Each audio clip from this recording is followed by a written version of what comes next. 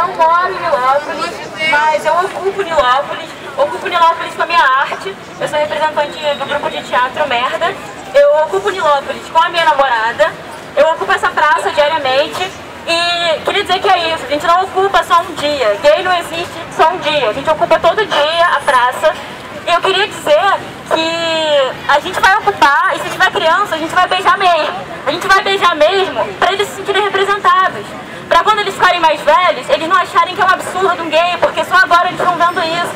Eles não acharem, se eles forem gays, e eles já são se eles forem, desde pequenos, que eles são uma aberração da natureza. Eles têm que se ver representados. Tem que ver hétero beijando e tem que ver homossexual beijando. Para eles saberem que eles existem. E, independente disso, eu queria dizer também o que a gente ouve muito como lésbica ocupando a praça, é muita cantadinha. Eu queria dizer que lésbica se beijando não é bonitinha porque é sensual pro cara.